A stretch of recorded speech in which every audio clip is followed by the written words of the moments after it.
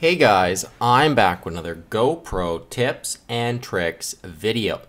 In this video, I'm going to be showing you how you can make the playback on your computer better. So this would be if you guys aren't able to play back the video that's um, or when you push play in GoPro Studios, if the playback is is um, laggy or kind of choppy, there's a really easy way to fix that, and all you have to do is come up under Playback and then select either Auto.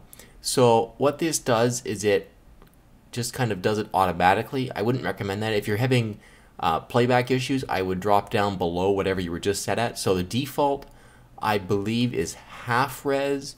If you're having playback problems, probably switch it down to draft, and that will make your playback um, on almost any computer probably just fine. And if you feel like you have a an awesome baller computer, you could put it up to best and see if that plays back. So guys, that was a really quick video showing you how you can improve the playback smoothness inside GoPro Studios.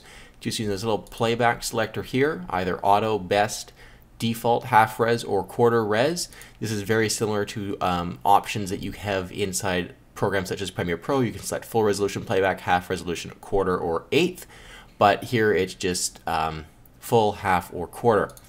Thank you guys for watching. So another GoPro tips and tricks video. If you've enjoyed it, please subscribe. Check out my channel for lots more videos and like the video.